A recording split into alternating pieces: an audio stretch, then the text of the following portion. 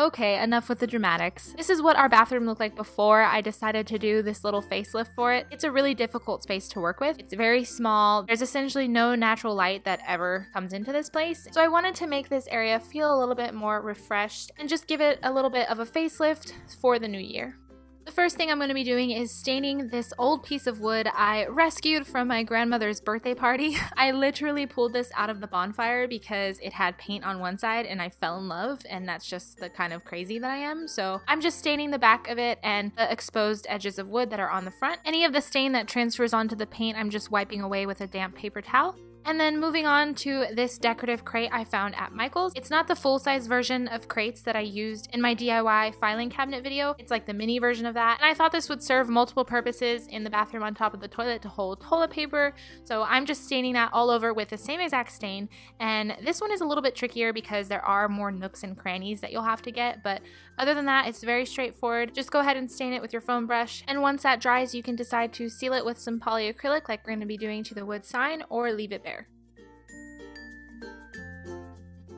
For the lettering on my sign, I'm going to be using a lesson from a blog called Llamas Love Lettering. I actually found her blog and herself through YouTube, and her name is Cindy. I will link her channel down below. She is great with lettering techniques, and I love the way she uses lettering. So I took a page from her book quite literally and printed out lesson number 10 from her blog and used the font directly from that and just freehanded it onto my sign. There are multiple ways that you can do this. You can print out bigger versions so that you can make stencils out of them, or you can find stencils on Pinterest. For me, this is the easiest way to do it. I've been doing this for years, so it may not work for you. I just used a regular mechanical pencil and then a jumbo eraser to erase any of the unwanted lines or mistakes that I made. I think I did misspell it a couple times or I completely missed a letter. I do that a lot when I'm like intensely focusing on drawing, but that's okay because that's the whole point of doing this with pencil first. The worst thing that you could do is start with paint first because you can always take away pencil and you can't necessarily take away paint, especially on a piece like this where I don't have that original paint.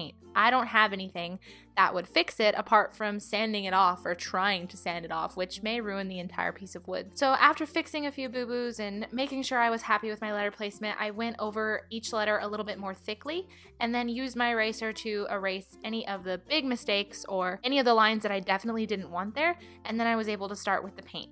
Whenever I'm doing lettering like this, I like to outline my letters before I go in with paint. This is really just personal preference, you don't have to do this. I find that it makes painting letters a lot easier because it's just like coloring within the lines and it doesn't necessarily matter what marker you use because you may get paint over it. So this helps me save a lot of time when it comes to painting because then I'm not worried about my lines. I'm just worried about coloring in my lines. And like I said, you can use a Sharpie, you can use any type of marker that will help you basically just keep your paint in check. Once you've outlined everything or once you're ready to start painting, you can use a matte black paint to fill in your letters. I use an acrylic paint. I don't believe it matters if you use acrylic or oil-based paints. I just have a lot of acrylic paint in my craft storage, so it is really just up to you. I have used a glossy black paint to do letters before and it is a pain in the butt. You can see all of the stroke marks, you can see all of your mistakes. So ever since then, I've been using a matte black and it dries really smoothly. You can't really tell that you painted it on. And in this instance, that's exactly what I want. I want it to look like this was always part of the wood sign. So here is my finished sign. I love the letter lessons from Llamas Love Lettering. It makes everything so much more simple and I was able to just draw this on and be done. I went through and erased all of my pencil marks, made sure everything was gone so you couldn't see it at all. And then I hit it with my sanding block just to kind of rough it up a little bit and make it look less new. I didn't want it to look super fresh and like I just purchased it or just made it. I want it to look like it's aged a little bit with that wood. Of course, after you sand anything, always wipe it down with a damp cloth to get all of the dust off of there and let it air dry and then you can move on to your poly. I actually had some polyacrylic left over from staining my dining table, so I just used that on this wood sign. Now, do not follow my lead and be as lazy as I was. I didn't feel like ruining a bowl. I don't have any plastic cups, so I just poured it directly onto the face of my project. I don't recommend this ever, but you do what you gotta do. So I just made sure to completely cover the front and get into the sides. After that dries, you're gonna wanna cover the back as well and any of the other pieces of exposed wood. To hang this decorative sign, I actually picked up some hooks from Michaels. I don't remember the exact name of them because I threw away the packaging, but they're just generic hangers that you can find near the command strips. So once I hammer those into the back, it's ready to be hung up. Okay, no need for a scary intro. Here is my bathroom after our little makeover. Hi! Now I moved this in. This used to be in our hallway. I actually got this online. It's a little wax warmer, and it says home sweet home. And here's the crate that you saw me make. Right now I'm using it to hold the toilet paper just because we had a toilet paper stand. It was sitting over there next to that beautiful thing. Um, and I just, I yeah, it wasn't working. So I put it over here and then we of course have Febreze because of other stuff. Um, So, and then here is the new shower curtain. Now, I mentioned before, it's really frustrating because the shower curtain, which is meant to give you more space, juts out super, super far. So our shower curtain kind of sits a little funky, but um, it's just this really pretty ruffled one that we got off of Amazon. Super, super affordable. So that was really nice. And I just think just with that alone, it's just so much more open. You may not think that that's like a big change, but to me it is.